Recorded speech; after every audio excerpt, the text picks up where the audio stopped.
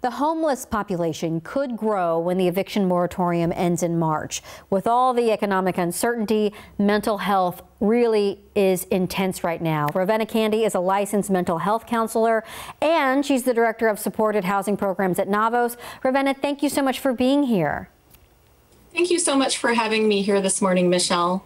Absolutely. Well, we know that homelessness impacts all of us in some way, especially when it comes to public health. Can you explain that?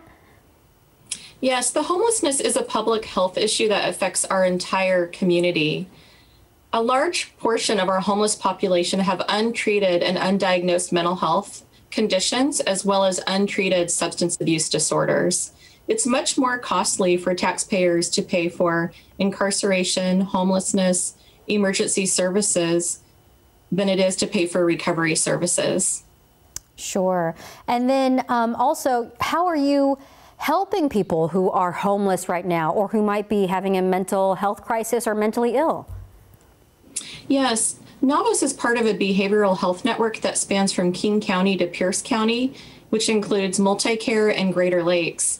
And we provide assertive community treatment, which is evidence based. It's a mobile team that goes into individuals' homes to provide treatment twice a day, seven days a week. So it's intensive community support.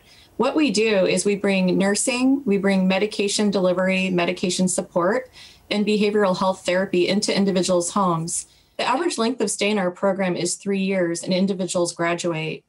We also provide housing for individuals that do not have housing and are homeless. Wow, well, that does sound amazing. I'm just curious how do you know that these programs are actually working for people in the long term?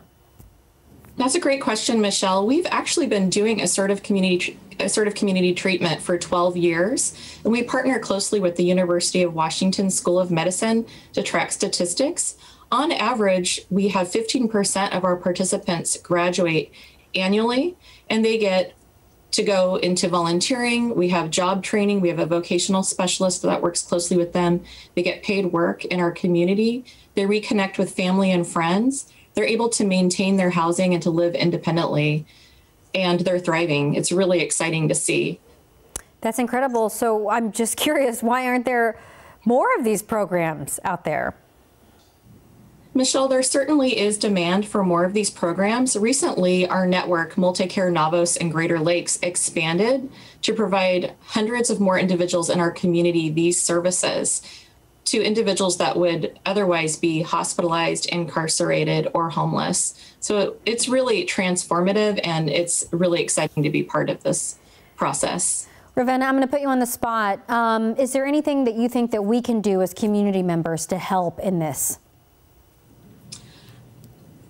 Uh, thank you, Michelle, for asking me that question.